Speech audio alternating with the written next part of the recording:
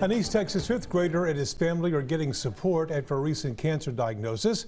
Classmates and teachers from St. Gregory Cathedral School held a fundraiser. KETK's Lauren Margolis was there.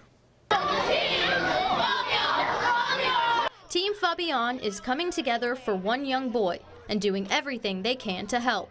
Students, teachers, and parents from St. Gregory Cathedral School in Tyler put on a soccer fundraiser. Their goal, to help fifth grader Fabian after he was diagnosed with cancer. Fabian found out within the last month. The news shocking everyone who knows the 11-year-old. Uh, we're praying for him every day, every minute, as much as we possibly can. There are dozens of kids out here playing soccer, and the reason they chose soccer as their fundraising event is because it's Fabian's favorite sport. While he's getting treatment in Dallas, his friends, along with other community members, taking the time out to show their support Thursday evening at the Tyler Athletic and Swim Club.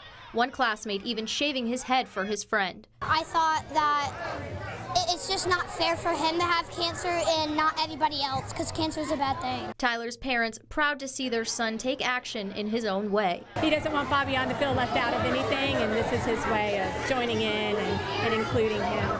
Everyone here helping to raise money, with each little player joining in and giving whatever amount they can spare. There are even shirts made, forming one team for Fabian, as they pray and wait for a win. Lauren Margolis, KETK News. By the way, note to that story, all proceeds from today will be given to Fabian's family. If you'd like to help out, head to our website, ketk.com.